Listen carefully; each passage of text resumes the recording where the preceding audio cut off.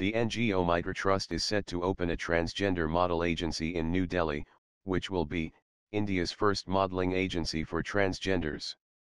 The agency will be spearheaded by transgender activist Rajrani Chetri while stylist and photographer Rishi Raj will manage the photo shoots. It is, our desperate desire, to be accepted into the mainstream society, said Chetri.